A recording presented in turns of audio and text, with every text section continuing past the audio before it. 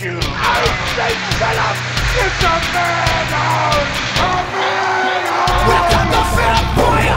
We're open on the live. All I desire is your clear excellence of me.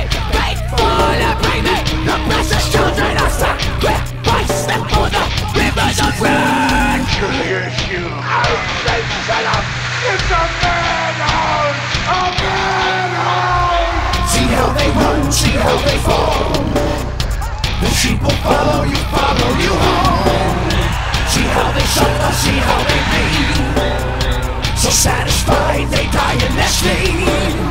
See how they fuck, the women scream. Oh peace, the highest high, the newest low. They reach, see how they laugh, see how they cry. I'm so satisfied to watch them die. I don't know how I did.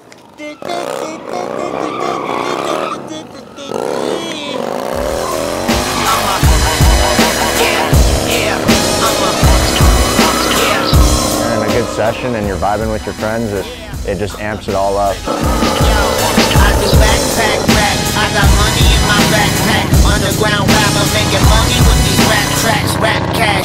I'm no dummy you can laugh at. Backpack, ain't nobody bummy in my rap class. I'm a killer, a gorilla, little. For me, like when I first saw what these guys were doing, it was like it was that same feeling. They're doing it for the right reasons. That it's a special thing where like you're sacrificing your body, you're sacrificing your own paycheck, everything to just do it for the love of it. I mean, you got to do what you got to do to ride, have fun. I live check to check just to get by to ride my motorcycle. You know, every dollar, every extra dollar that I have goes into the bikes. There's a lot that goes into them with you know keeping them maintained. You know, tires, oil. I mean, these things aren't made to wheelie and stunt ride like that. So the upkeep on the bikes is, you know, you got to keep it really uh, frequent. And uh, oh yeah, I spend a lot of time, a lot of money out of my own pocket. You know, and just, it's my passion. I wouldn't want it any other way. Yeah, I'm a. Yeah, I'm a. I'm the little. I do backpack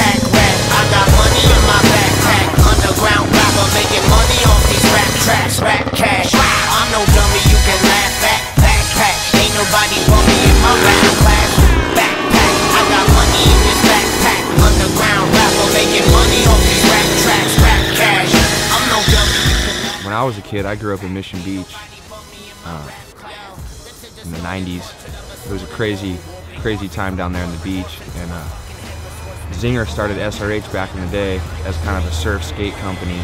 And he started sponsoring me when I was a kid. I was probably like 12 years old when I started getting hooked up with clothes from SRH for surfing. So I became friends with Zinger like 20 years ago. And so when I started riding on my Harley and trying to do stunts and shit, I had a group of guys that kind of were teaching me how to do some shit, teaching me how to wheelie and riding with me. And uh, Zinger hit me up. He was like, "What's up with you and your friends, man? Killing it on the bikes. I want to get you guys together and, and kind of do a, you know, little team thing again." So I mean, I had already had the foundation laid with SRH for 20 years, and Zinger was already a close personal friend of mine. So I felt like bringing my friends in uh, and, and making the connection with Zinger and SRH was just like a perfect fit. Yeah. I'm the little. I do backpack rap. I got money in this backpack. Underground rapper. I make money off these rap tracks, rap cash. I'm no dummy. You can laugh at. Backpack. Ain't nobody. Where it started from, I mean, a year ago I had 18 inch ape hangers and I was trying to do second gear seat standers down the road because that's all I knew. Uh, as far as the wheelie stuff, it's been coming up on like a year and a half now.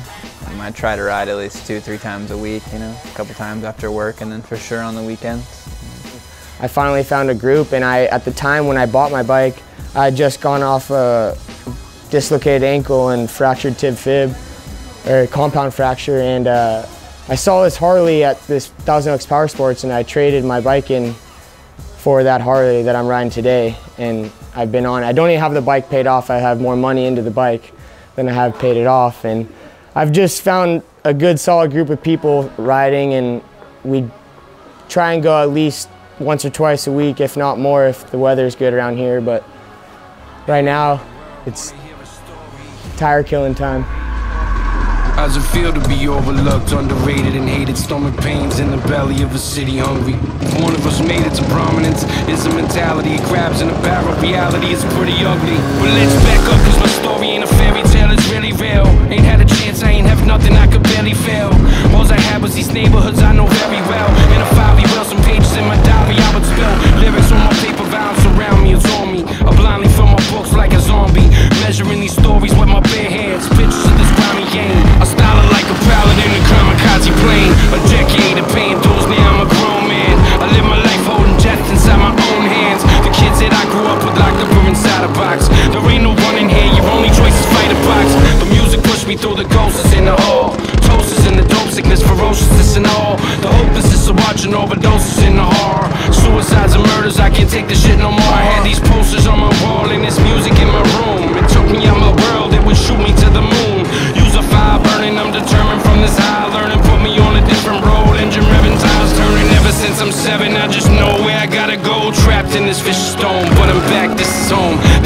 could have been a star, but I lost my logic. My heart is hotter than the bricks in a Boston project. Project, project, project,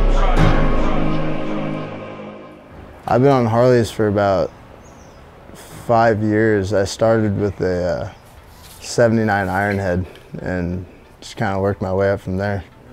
Um, well, I think it's come a long way. I mean, the first, you know, the first guy to like scrape his fender, like that was Savage, and then uh, people are scraping their bobbed fenders now and like all that, and doing no-handed drags and stuff, like like the boys out in AZ and up in the Bay Area and stuff. And even Joey's doing these no-handers, getting crazy. I mean, it's come a long way. I mean, it, it's it's it's amazing actually. Well, I mean, definitely. Um, I've watched all of your videos, literally probably a hundred times each. If you go watch all, all the shit shows, you know, and, and just like you said, like the top of the game was being able to do a knee knocker or a stand up or a sit down just for miles. And now, you, you know, you got guys that are on our team that can, on a Harley, drag the hand or drag the ground with both of their hands, you know. So, and that's within, like you said, the last five to six years. So the progression has, has definitely grown. I, I give it probably another two years before the guys are doing pretty much everything on on the cruisers that they can do on sport bikes, you know. Yeah, it's crazy. Like the progression of of Harley wheelies and stunts in general is just progressing so fast. You got guys that are, you know, a few years ago, just a standard wheelie was like amazing. You know, guys were getting it up there, and it was just people were tripping out. And now you got guys scraping fender, dragging one hand on the ground, doing crazy shit that just doesn't even look possible on a Harley. So the progression level is insane, and just to even be part of the sport and watch these guys killing it is just awesome. I think it's cool. That's I, I don't like going there, but it's you know what I mean. It's 15 minutes from my house, and they call me. They're like, "Dude, we got we got Grunt, we got Shimondo." And it's always some badass photographer that apparently wants to film at Balboa. You know, and it's like, it's right there. You, you pull off the freeway, and it's it's like it's right there. It's inevitable. So it's, it's super fun, but it's always sketchy. And we shot with you doing through like the main area where people were like walking through. Uh, that was definitely one of the highlights. Yeah, it's pretty cool that we have that spot to ride at at Balboa, right off the freeway, right there, because it's a nighttime spot where we can kind of do our thing and we don't get too harassed by the cops. It's an awesome view. You get to look down on the city and see the lights and everything, and uh, it's just a big empty parking lot where we can get let loose.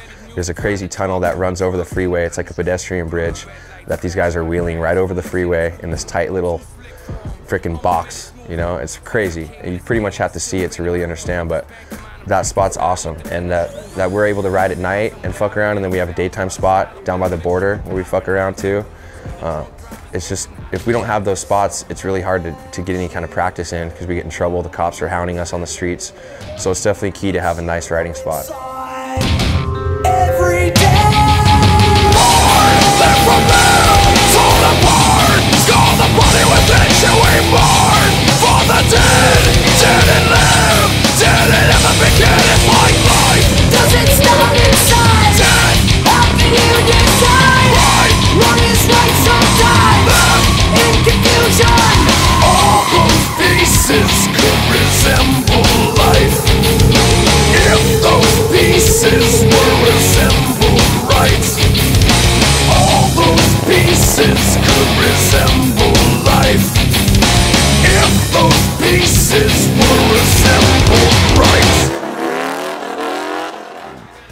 Think the fame and the fortune will come eventually, right? And like I don't think they even know that, right? Like for them, they're just doing it for the love of it, right? But like looking into the future, like the money and the fame and all that stuff will come to them, but like at this moment in time when you're doing it for all the reasons of just the pure love of it, that's the most special part for me. Right? Uh, my worst crash, I don't know, dude. I've had so many of them. Uh, if you're not if you're not crashing, you're not learning. You know, every time I go out, you know, my bike's always on the ground. So there's too many to count. Looping wheelie. Yeah, that sucked. Um, really kind of just like was still learning at that point and my feet came off the foot pegs and just from there was instantly looking at the bike scraping down the street as I was like looking up at it on the, my stomach and like rode it home, you know, like had to get home somehow. Worst crash I had on the Bolt was probably in the last like wasn't even a month and a half ago. I just looped out down the 905 spot. I was stuck under the bike. That was pretty rad. I've crashed doing some burnouts and stuff like that. Nothing too serious yet. Went to go pull up a, a second gear stand-up wheelie and just pulled it up way too deep and it was going going a little too fast when I pulled it up and was started scraping and there's nothing I could do. I mean, I just fucking tossed it. The bike like barrel rolled and bars and fender and struts were all fucked up and it was just bad news. But um, I got the bike back together, threw some pro tapers on it and just said fuck it. You know, I wanted to ride again. I mean, it's a little tweaked, but we're running with it.